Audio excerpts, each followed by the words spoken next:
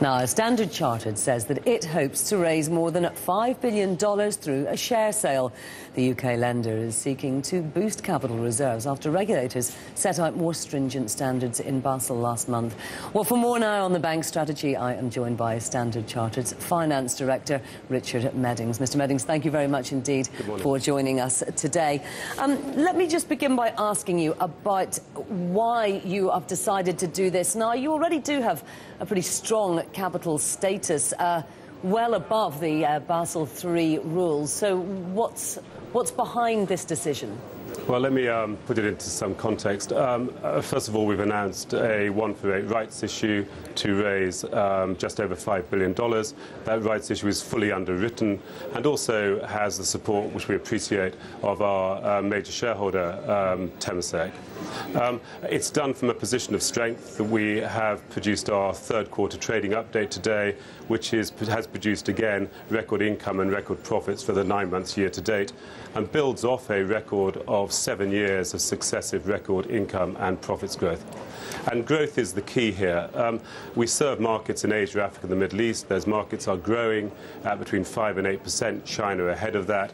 And we don't want to have to constrain our growth rate, to constrain our ability to help and support our customers and, and, and clients because of emerging changes to regulation.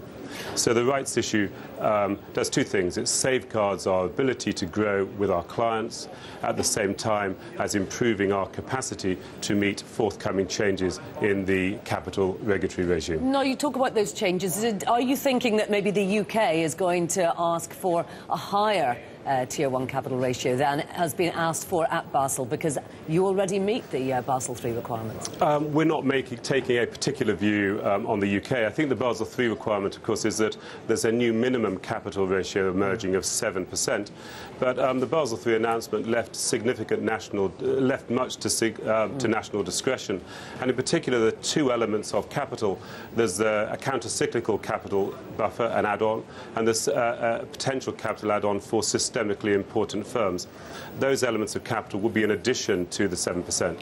So um, we are simply taking a view that it's important to build um, a stronger capital position on top of an already strong capital position, therefore to be able to continue to support growth in our business, serving our customers. Now, you have said that this is not a war chest for acquisitions. It's about organic growth. Uh, what areas are you looking to grow in organically? And, and, are you ruling out any kind of acquisitions, even small bolt-ons? Um, well, the group strategy um, is predominantly an organic strategy. Um, we serve um, markets, economies in Asia, Africa, and the Middle East, which have strong underlying economic growth, and as importantly, have growing banking markets within those growing economies. So um, are we looking to focus on any of those in particular? Not really. We see broad growth opportunities across our franchise. With regard to acquisitions, yes, we will continue um, at the very small end to make what we call capability acquisitions, but they tend to be acquisitions for $100 million or $200 million. This rights issue is absolutely not about a war chest for any major acquisition. Are you thinking then that maybe the uh, Basel III levels are not quite uh, adequate? I don't think we, it's a view of, uh, of, the adequacy of them or not. I think what we are making a judgment about is that the Basel III announcement has set a, a new minimum level. It has a transition timetable. It's quite possible that a number of different regulators may accelerate the timetable for the implementation of Basel III, so the new ratios could come in faster than the announcement, and that goes to national discretion.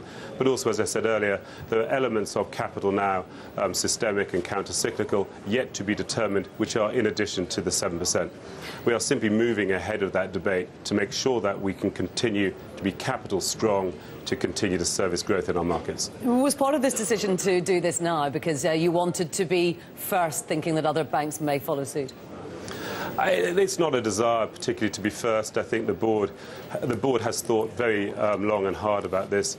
Um, we believe having a robust balance sheet is absolutely critical. Our capital strength is commensurate with our liquidity strength and the fact we have minimal um, refinancing obligations over the next three to four years. So the board has a view that it's really important to serve growth markets to give confidence to our customers that we have an unquestionable balance sheet, an unquestioned balance sheet.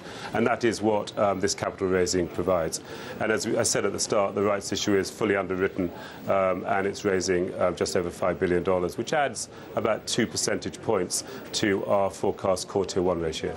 Now, you have been identified as a potential candidate for the top job at uh, Lloyds when Eric Daniels retires. Are you interested?